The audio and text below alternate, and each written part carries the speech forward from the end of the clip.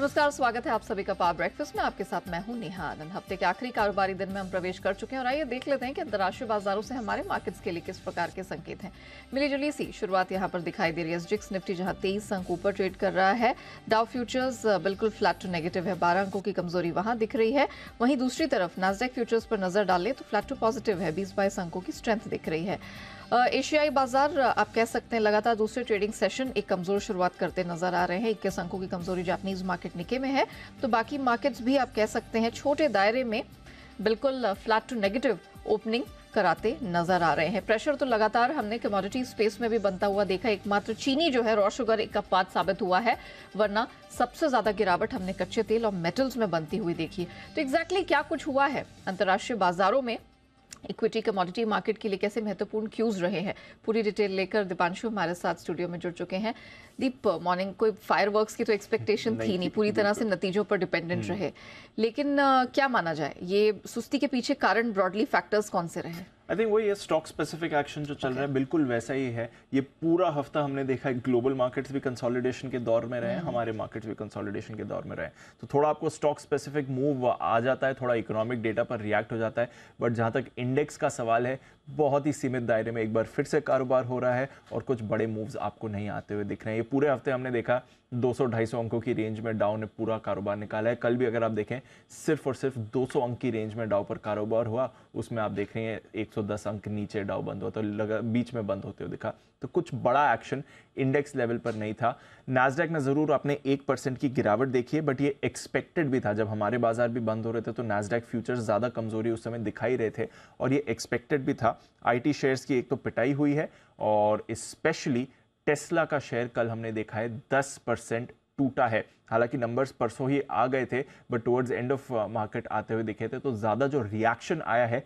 वो कल आपने टेस्ला में आते हुए दिखा है। और रिएक्शन उसी की बात का है, जिसके बारे में हम कल हम बात कर रहे थे, क्योंकि कंपनी लगातार प्राइस कट्स ले रही है और थोड़ा कॉस्ट बढ़ने का प्रेशर आ रहा है तो इनके मार्जिन पर आगे असर पड़ सकता है। इसके डर से हमने देखा कि टेस्ला का शेयर टूटते हुए दिखा। साथ ही क्योंकि टेस्ला प्राइस कट्स कर रहा है तो बाकी ऑटो शेयर्स में भी हमने कमज़ोरी देखी क्योंकि बाज़ार अब चिंतित हो रहा है कि इसकी वजह से प्राइस वॉर शुरू हो जाएगा और बाकी ऑटो कंपनीज़ को भी अपने दाम घटाने पड़ेंगे। तो सभी के मार्जिन पर, सभी के आगे की परफॉर्मेंस पर आपको प्रेशर आते हुए दिख सकता है।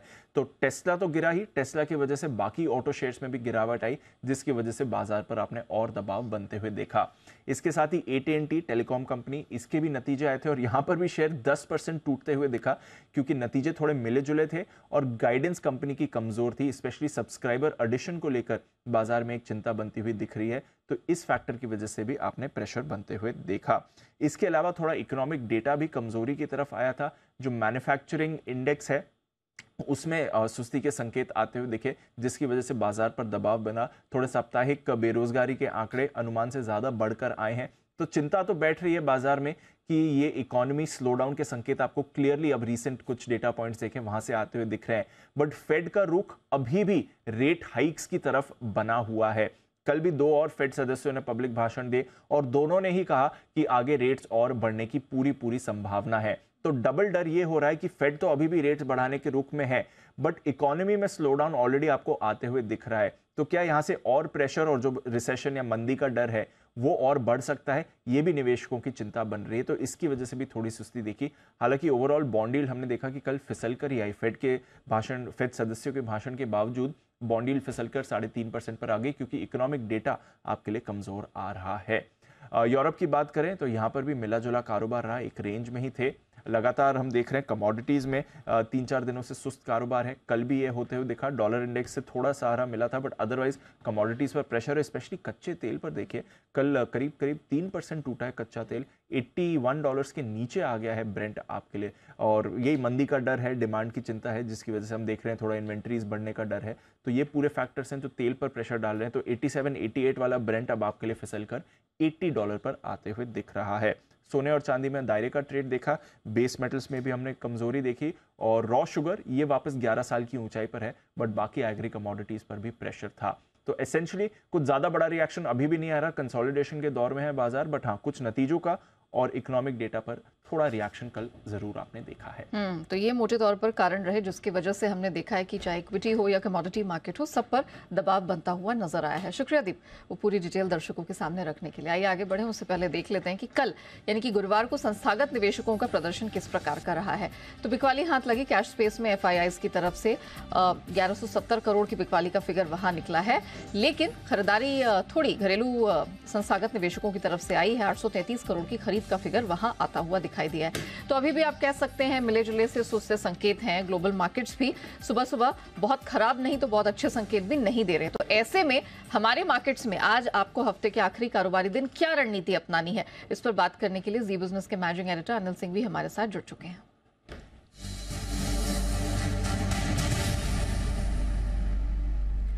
मॉर्निंग हफ़्ते का आखिरी कारोबारी दिन है, करना क्या है? कल बिल्कुल रेंज पे जाके फाइनली हरे टिक पर बंद होने में कामयाब रहे। आज क्या उम्मीद की जाए सर गुड मॉर्निंग देखिए, संकेत मिले जुले हैं और उम्मीद के मुताबिक ही अमेरिकी बाज़ार कमज़ोर रहे हैं। जब भारतीय बाज़ार कल बंद हुए तो लगभग लगभग डेढ़ सौ पॉइंट नीचे थे डाउ फ्यूचर्स और इतने ही लगभग आपको नेस्डेक फ्यूचर्स भी थे और कमो बेश उतनी कमज़ोरी हुई भी है। तो आई थिंक उम्मीद के मुताबिक डाउ फ्यूचर्स सपाट है। मेरा ये मानना है, कल वीकली एक्सपायरी का प्रेशर थोड़ा सा खत्म हुआ है। अब आज हफ़्ते का आखिरी दिन है, वैसे तो संकेत ऐसे हैं कि आज भी आप रेंज के बाहर निकलेंगे नहीं। तो वही सत्रह हज़ार सौ, सत्रह हज़ार सौ पचहत्तर, ये स्ट्रॉन्ग सपोर्ट जोन है, वो आज भी सपोर्ट के तौर पर काम करेगा। फ्रेश कमज़ोरी तभी होगी जब सत्रह हज़ार पाँच सौ के नीचे जाकर निफ्टी ट्रेड करना शुरू करें। ऊपर की तरफ़ सत्रह हज़ार छह सौ पचहत्तर, सत्रह हज़ार सात सौ पचास, ये हल्की फुल्की आज के लिए आपके लिए रुकावट की जगह है और इस रेंज में आपको थोड़ी बहुत सप्लाई आती हुई दिखेगी। जहाँ तक बैंक निफ्टी का सवाल है वही इकतालीस हज़ार आठ सौ बयालीस हज़ार ये आपके लिए सपोर्ट जोन है और आसानी से टूटने वाला है नहीं। और ऊपर की तरफ़ वही बयालीस हज़ार पाँच सौ बयालीस हज़ार छह सौ सप्लाई जोन है, जहाँ पर आने पर प्रॉफिट बुकिंग बिक वाली आती हुई दिखेगी। तो ऐसा कोई खास बड़ा बदलाव आज के ट्रेडिंग सेशन में होता दिख नहीं रहा है। सीमित दायरे में ही कारोबार होता हुआ दिखेगा। और जैसा कि यहाँ पिछले तीन दिनों से हो रहा है, चार दिनों से कैश मार्केट के स्टॉक आउट परफॉर्म कर रहे हैं। मिड कैप स्मॉल कैप शेयरों में एक्शन थोड़ा सा बढ़ता हुआ दिख रहा है। मुझे लगता है वही ट्रेंड आज भी जारी रहेगा। तो ब्रॉडर मार्केट ठीक रहेगा और बाकी इंडेक्स आपको सीमित दायरे में कारोबार करते हुए नज़र आएँगे। जी।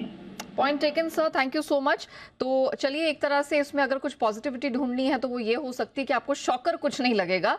रेंज ट्रैप मार्केट है यहाँ पर, और स्टॉक स्पेसिफिक एक्शन पर फोकस करना है। सत्रह पाँच सौ पाँच सौ पचहत्तर ये निफ्टी के लिए सहारा देने वाली बैंड होगी, और ऊपर सत्रह सात सौ पचास तक ये टेस्ट करते हुए अपनी क्षमता दिखाई दे सकता है। बैंक निफ्टी इकतालीस आठ सौ से बयालीस हज़ार, जो कल की रेंज थी, उसी को अमूमन यहाँ पर मेंटेन करता हुआ बैंक निफ्टी दिखेगा। और ऊपर रुकावट वाली रेंज है साढ़े बयालीस हज़ार से बयालीस हज़ार छह सौ तक एक्सटेंड होती दिख रही है। अब सर ने क्लियरली यहाँ पर अपने वक्तव्य में कहा है कि कैश मार्केट में चुनिंदा स्टॉक्स में एक्शन देखने को मिलेगा और अब हम उसी पे फोकस करेंगे।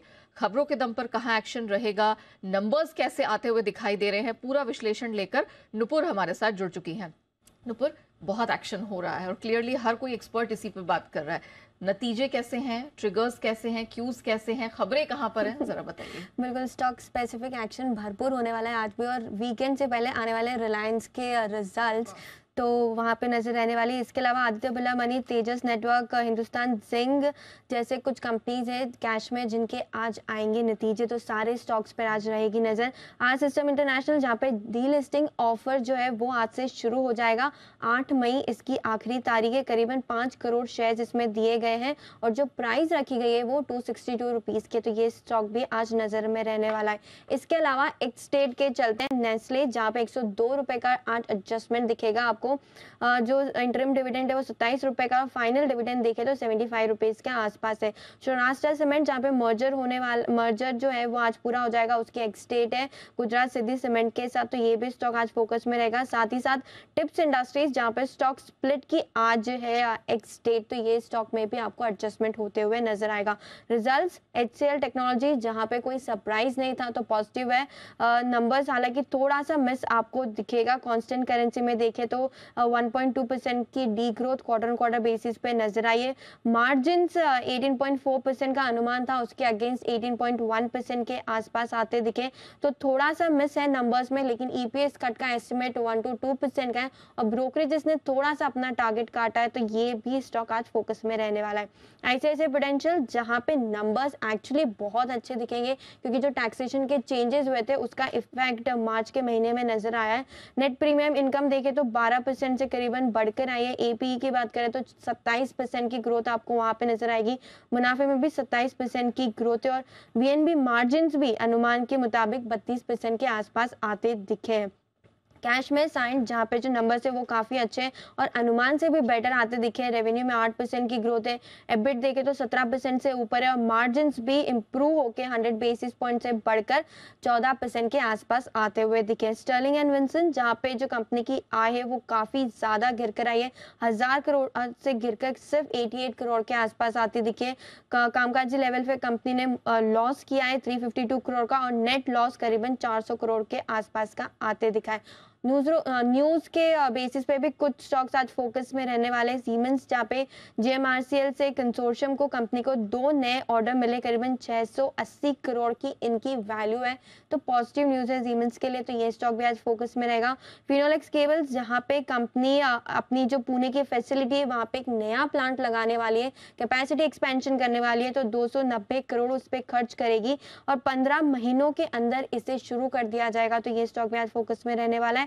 और लास्ट में नज़ारा टेक्नोलॉजी फंड एक्शन हुआ है यहाँ पर। आईसीआईसीआई प्रोडेंशियल म्यूचुअल फंड ने करीबन 1.31 लाख शेयर्स खरीदे और अपनी हिस्सेदारी 4.9 परसेंट से बढ़ाकर 5.1 कर दिए तो ये स्टॉक भी आज फोकस में रहने वाला है। हम्म, तो पूरी लिस्ट आपको नुपुर ने थमा दी है।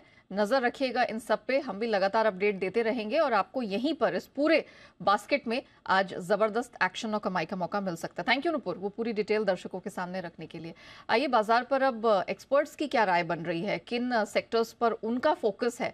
सब पर बात करने के लिए मार्केट एक्सपर्ट श्रीकांत चौहान हमारे साथ जुड़ चुके हैं। श्रीकांत सर मॉर्निंग बहुत स्वागत है।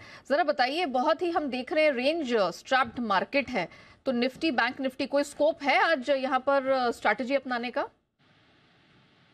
गुड मॉर्निंग देखिए हमें लगता है कि मार्केट जो है वो एक रेंज के अंदर है और मार्केट में अच्छा खासा करेक्शन भी हो चुका है। पॉसिबल है कि शायद मार्केट में अगर जैसे कि एशियन मार्केट में थोड़ी सी वीकनेस है यूएस मार्केट में थोड़ा सा एक प्रेशर बना हुआ है तो हम शायद अगर इस मार्केट में अगर और इस एक्सपायरी में वीकनेस देखें तो 17,500 तक का एक फॉल है। लेकिन वहाँ पे मार्केट के लिए एक मज़बूत सपोर्ट है। तो अगर यहाँ से कोई करेक्शन अगर आता है तो बिल्कुल वहाँ पे कॉन्फिडेंटली कुछ लॉन्ग पोजिशन बनाई जा सकती है। करंट लेवल्स में हमें लगता है कि मार्केट इन बिटवीन है। तो शायद 17,500 उन लेवल्स को देखिए। और अगर मार्केट में अगर रिबाउंड आता है और अगर मार्केट 17,700 के ऊपर अगर ट्रेड करने लगता है तो फिर वहाँ पे हमें अच्छी खासी शॉर्ट कवरिंग देखने मिलेगी।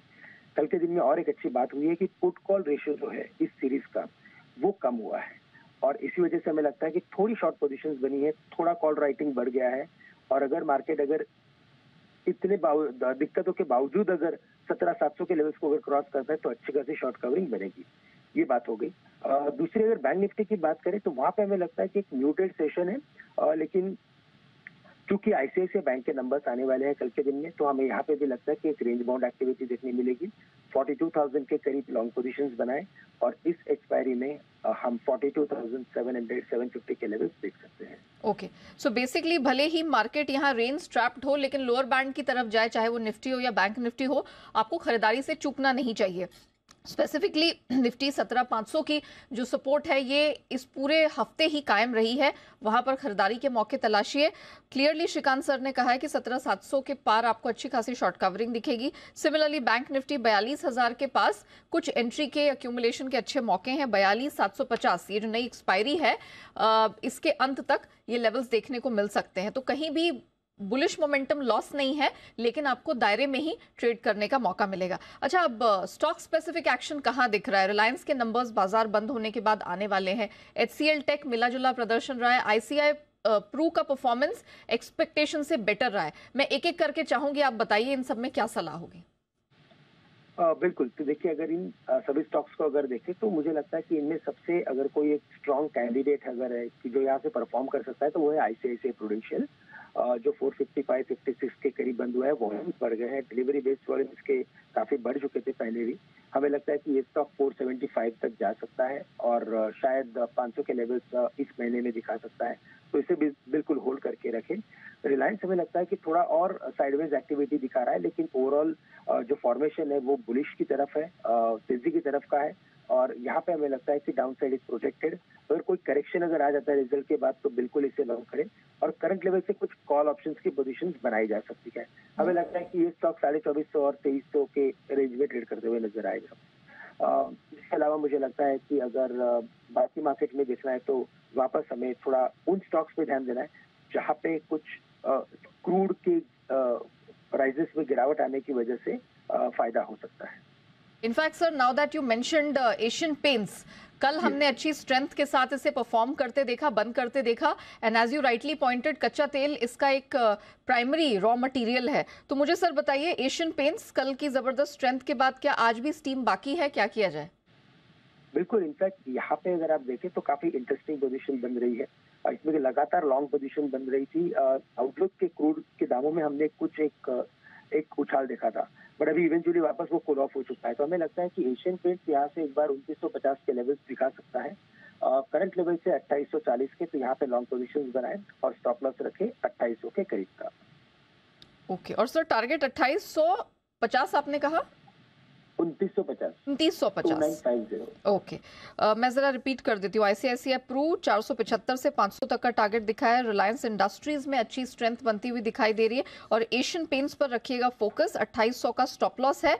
उनतीस सौ पचास तक का टारगेट दिखेगा। सर रिलायंस इंडस्ट्रीज़ के लिए स्टॉप लॉस आप कोई रिकमेंड करेंगे? रिलायंस इंडस्ट्रीज़ के लिए हमें स्टॉप लॉस रखना पड़ेगा एट ट्वेंटी टू फिफ्टी बाईस सौ पचास के करीब का। ओके ट्वेंटी टू फिफ्टी तक का स्टॉप लॉस यहाँ पर लेकर चले और इस पर भी नज़र रखिएगा ये हम इसलिए भी कह रहे हैं क्योंकि इसके नंबर्स जो हैं आज बाज़ार बंद होने के बाद आने वाले हैं। सर ये तो बाजिंग एक्शन वाले स्टॉक्स हैं। आपकी नज़र आज किन स्टॉक्स पर है जहाँ आपको कमाई बनती दिख रही है? आ, बिल्कुल। तो देखिए मुझे लगता था कि गिरावट आने की वजह से एशियन पेंट्स के परफॉर्मेंस आएगा तो वो तो हमने ऑलरेडी बात कर लिया है। इसके अलावा मुझे लगता है कि अगर वापस मार्केट में कुछ रिकवरी बनती है तो वापस बैंक स्टॉक सपोर्ट करेंगे। आईसीआईसीआई बैंक में भी फॉर्मेशन अच्छा है लेकिन बिकॉज़ इसके नंबर है तो उसे अवॉइड करें। स्टेट बैंक ऑफ़ इंडिया है। यहाँ पे कल काफ़ी एक इंटरेस्टिंग फॉर्मेशन बना है। आ, कल इसमें यहाँ पे अच्छी खासी शॉर्ट कवरिंग बनी है। और यहाँ पे ये स्टॉक अगर रैली करता है तो वापस एक बार 560 के लेवल दिखा सकता है। तो पाँच सौ चवालीस पैंतालीस के करीब होंगे। और स्टॉप लॉस रखे यहाँ पे पाँच सौ पैंतीस रुपए का टारगेट रखे पाँच सौ साठ रुपए की। ओके okay, तो एशियन पेंट्स पर तो फोकस किया इंसिडेंटली वो आज श्रीकांत सर की बेस्ट पिक्स का भी हिस्सा रही है। एसबीआई पर भी फोकस करिएगा 560 तक का टारगेट बनता दिख रहा है। खरीदारी करके चलिए आज मार्केट जब खुलते हैं 535 का स्टॉप लॉस आपको यहाँ लगाकर चलना है। तो इक्विटी स्पेस में बहुत ज़बरदस्त एक्शन रहेगा। स्टॉक स्पेसिफिक एक्शन पर करना है आपको focus Shrikant sir thank you so much हमारे साथ जुड़ने के लिए। बताने के लिए आज कहाँ कहाँ कमाई के मौके हो सकते हैं। लेकिन एक्शन कम नहीं है। कमोडिटी बाज़ार में ऑफकोर्स डाउनवर्ड एक्शन ज़्यादा है। बात करने के लिए एसएमसी कॉन्ट्रेट की वंदना भारती हमारे साथ जुड़ चुकी हैं। वंदना जी गुड मॉर्निंग बहुत स्वागत है। वंदना जी, पाँच महीने के हाई से कच्चा तेल अब तीन हफ़्ते के लोस पर आ गया है। सत्तासी डॉलर के पार निकला था पिछले हफ़्ते और अब हम देख रहे हैं अस्सी डॉलर के करीब आ गया है। साढ़े छह से साठ डॉलर का करेक्शन हो चुका है। क्या अभी भी गिरावट बाकी है? क्या करना चाहिए? जी हाँ यहाँ पे थोड़ा सा करेक्शन अभी और लग रहा है क्योंकि आप देखिए ग्लोबल पीएमआई भी यहाँ पे 50 के करीब है। और अभी जो मैन्युफैक्चरिंग डेटा आना है, ये भी यहाँ पे थोड़ा सा फिफ्टी से नीचे आने की उम्मीद है यूएस का। तो मेरे ख्याल से यहाँ पे एक निगेटिव इम्पैक्ट देखने को मिलेगा और एक कूल ऑफ़ देखने को मिल सकता है प्राइसेस में। Uh, मेरे ख्याल से यहाँ पे थोड़ा सा डाउन साइड और देखने को मिलेगा। 63 70 uh, एक एमसीएक्स का लेवल होगा जहाँ पे कि हम सेलिंग इनिशिएट कर सकते हैं। 6300 का टारगेट होगा। स्टॉप लॉस 6400 का लगा सकते हैं। इंटरनेशनल मार्केट में नामिक तो मुझे लग रहा है कि डब्ल्यू में हो सकता है एक बार हम 78.5 डॉलर तक के जो प्राइसेस है वो आता हुआ देखें। ओके okay, तो बेसिकली प्रेशर बरकरार रहेगा। इसी का इस्तेमाल करना चाहिए। सेल की रणनीति अपनाइए। नीचे 60 थ्री हंड्रेड छः हज़ार तीन सौ तक का टारगेट आपको देखने को मिल जाएगा और छः चार सौ का स्टॉप लॉस लगाना है। अच्छा दायरे में फंसा हुआ है सोना और चांदी। डॉलर इंडेक्स की मेहरबानी पर ही पूरी तरह से ये मूवमेंट दिखा रहे हैं। अब आपकी क्या सलाह होगी? डोमेस्टिक मार्केट बिल्कुल फ्लैट बंद हुआ है कल। जी बिल्कुल मेजर ट्रिगर मिसिंग है यहाँ पे नेहा, लेकिन अगर ट्रिगर्स देखें तो थोड़ा सा यहाँ पे सेफ़ इवन बाइंग जो है फिर से रिटर्न आ सकती है। ओपनिंग हम हो सकता है कि थोड़ा सा करेक्शन आता हुआ देखें या गैप डाउन ओपनिंग इनफैक्ट दिख सकते आता हुआ। लेकिन मेजर ट्रेंड जो है वो अभी भी बाय का है और डॉलर इंडेक्स में जो उछाल है वो यहाँ पे लिमिटेड हो गया हुआ है। तो मेरे ख्याल से यहाँ पे बाइंग आएगी। करेक्शन पे साठ हज़ार तीन सौ पचास के करीब यहाँ पे बाइंग करनी चाहिए। साठ हज़ार सात सौ का टारगेट होगा। बस यहाँ पे लगाना चाहिए साठ हज़ार दो सौ का। ग्रेजुअली प्राइसेस यहाँ पे साठ हज़ार आठ सौ की तरफ़ जा सकते हैं पुणे में। ओके और सिल्वर पे क्या राय होगी? जी सिल्वर यहाँ पे बहुत बढ़िया अभी परफॉर्म कर सकता है फिर से। क्योंकि यहाँ पे जो वॉल्ट है वहाँ पे भी सिल्वर में थोड़ी सी कमी आई है। तो मेरे ख्याल से अगर आज के दिन की बात करूँ तो प्राइसेस हो सकता है कि 600-700 रुपए तक का ऊपर का मूव यहाँ पे दिखाए और हम हो सकता है कि 7500 950 तक के लेवल आता हुआ देखें तो 7600 यहाँ पे बिल्कुल अप्रोच कर सकती है ये कमोडिटी आज के दिन में। और ऐसी स्थिति में स्टॉप लॉस क्या रहेगा? स्टॉप लॉस यहाँ पे लेके चलना होगा seventy five thousand one fifty के करीब का। थोड़ा सा लंबा स्टॉप लॉस बनेगा। क्योंकि बिल्कुल हायर साइड पे ट्रेड हो रही है और लगातार अपसाइड मूव आता हुआ हम लोगों ने देखा है इसमें ओके okay. अच्छा चाइना के तगड़े डेटा के बावजूद हमने देखा है मेटल्स डगमगा गए, जो भी स्ट्रेंथ थी पूरी तरह से गायब हो गई। कॉपर प्रॉमिसिंग लग रहा था 9000 के ऊपर, लेकिन टिक नहीं पाया। कल भी 8900 के नीचे बंद हुआ है। तो क्या सलाह होगी कॉपर में आज? बिल्कुल सही कहा नेहा, आपने यहाँ डॉलर इंडेक्स नीचे की तरफ़ है चाइना का डेटा लगातार यहाँ पे बढ़िया आ रहा है और एक एक चीज़ ये भी है यहाँ पे कि रिफाइंड कॉपर का काफ़ी ज़्यादा प्रोडक्शन हो चुका है डिमांड इतनी ज़्यादा नहीं आ पा रही है तो मेरे ख्याल से यहाँ पे कॉपर में एक डाउन साइड लेवल आएगा, कल के दिन में एक बिल्कुल डिफाइनिंग मूव आई थी, नीचे की तरफ़ मुझे लग रहा है कि प्राइसेस 760 के करीब आएँगे तो 766 की तरफ़ यहाँ पे सेलिंग करना है 760 का टारगेट होगा स्टॉप लॉस यहाँ पे हम प्लेस कर सकते हैं 769 का ओके okay. चलिए तो यहाँ पर सोने चांदी में जहाँ पर कुछ खरीदारी की रणनीति अपना सकते हैं कच्चे तेल और मेटल्स क्योंकि यहाँ सबसे ज़्यादा प्रेशर दिखा है तो आ, सेल की रणनीति अपनानी है सात सौ छियासठ के पास कॉपर बेच के चले सात सौ उनहत्तर का स्टॉप लॉस 760 और उसके नीचे के लेवल्स आपको कॉपर में देखने को आज मिल सकते हैं। थैंक यू वंदना जी हमारे साथ जुड़ने के लिए बताने के लिए कि नॉन एग्री स्पेस में कहाँ कहाँ है कमाई के मौके। आइए बढ़ते आगे हैं आगे एफआईआर यानी एफ़ इन्वेस्टमेंट रिपोर्ट्स की तरफ़।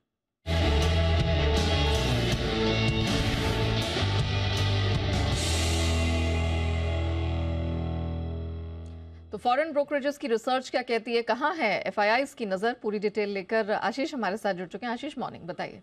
गुड मॉर्निंग देखिए, नतीजे के बाद एच सी एल टेक यहाँ पर रिपोर्ट्स आई हैं। सी की तरफ़ से आउट परफॉर्म की रेटिंग को बरकरार रखा गया। एक हज़ार सैंतीस की क्लोजिंग है। बारह सौ रुपये का टारगेट दे रहे मॉर्गन स्टैंडली ने देखिए ओवरवेट की रेटिंग को बरकरार रखा है, लेकिन टारगेट जो है चालीस रुपये से घटा है। बारह सौ से घटाकर ग्यारह सौ साठ कर दिया है। जेपी मॉर्गन ने अंडरवेट की रेटिंग को बरकरार रखा है, लक्ष्य नौ सौ बीस से घटाकर आठ सौ अस्सी। सिटी की तरफ़ से भी टारगेट कटा है, लेकिन जेफरीज यहाँ पर अगर आप देखें, उन्होंने टारगेट प्राइस को थोड़ा सा एडजस्ट किया है। यहाँ पर आपको रखना है फोकस क्योंकि एक हज़ार पचास से बढ़ाकर ग्यारह सौ पच्चीस कर दिया है भाई। मैक्वायरी अगर आप देखें तो आउट परफॉर्म की रेटिंग जो है, इन्होंने बरकरार रखी है पंद्रह सौ अस्सी रुपये के लक्ष्य के लिए। आई सी आई सी प्रू यहाँ पर भी आज आपको नतीजों का इम्पैक्ट देखने को मिलेगा। C L S outperform की रेटिंग को बरकरार रखे हुए लक्ष्य इन्होंने बढ़ा है। चार सौ पिचासी से बढ़ाकर पाँच सौ बीस कर दिया है। चार सौ छप्पन की क्लोजिंग चल रही है। जेपी मॉगन ने न्यूट्रल की रेटिंग को बरकरार रखा है। चालीस रुपये से लक्ष्य को बढ़ाकर चार सौ अस्सी कर दिया है। मॉर्गन स्टैनली ने ओवरवेट की रेटिंग को बरकरार रखा है। छह सौ रुपए के लक्ष्य लिए जेफरीज भी खरीदारी कराया दे रहे गोल्डमैन सैक्स की न्यूट्रल की रेटिंग है और मैक्वायरी ने आउट परफॉर्म की रेटिंग दी है पाँच सौ अस्सी रुपए के लक्ष्य के लिए। इसके अलावा एम्फोसिस यहाँ पर आपको रखनी है सबसे ज़्यादा नज़र, क्योंकि जेपी मॉर्गन की तरफ़ से रिपोर्ट आई है, जहाँ पर रेटिंग को कर दिया गया है डाउनग्रेड। पहले न्यूट्रल की राय थी, अब अंडरवेट की रेटिंग दी है और लक्ष्य में भी अगर आप देखें तो भारी भरकम कटौती की है। सीधे अठारह सौ रुपये से घटाकर पंद्रह सौ पचास कर दिया है। स्टॉक चल रहा है करीब 1760 पर तो करंट मार्केट प्राइस से नीचे का आप टारगेट दे रहे हैं। और रेटिंग भी अगर आप देखें तो डाउनग्रेड की है तो असर देखने को मिलेगा। और साथ में एक और आईटी स्टॉक है जो आप अपने रिडार पर रखेंगे, वो है टेक महिंद्रा जहाँ पर जेपी मॉर्गन की तरफ़ से रिपोर्ट आई है। और सिमिलरली जैसे कि एम्फोसिस में मैंने आपको बताया, यहाँ पर भी आप देखें कि न्यूट्रल से रेटिंग को घटाकर अंडरवेट की राय दी है। और लक्ष्य में भी अगर आप देखें तो यहाँ पर कटौती की गई है। नौ सौ का टारगेट दिया है। एक हज़ार बाईस की क्लोजिंग है। hmm, तो क्लियरली जिन जिन कंपनीज़ के नतीजे हैं उन पर तो फोकस है ही और आईटी स्पेस रेडार पर बना हुआ है सारे फॉरेन ब्रोकरेजेस के। थैंक यू आशीष वो पूरी डिटेल दर्शकों के सामने रखने के लिए। इसी के साथ पावर ब्रेकफास्ट को हम यही रैपअप करते हैं लेकिन बने रहिएगा जी बिज़नेस के साथ।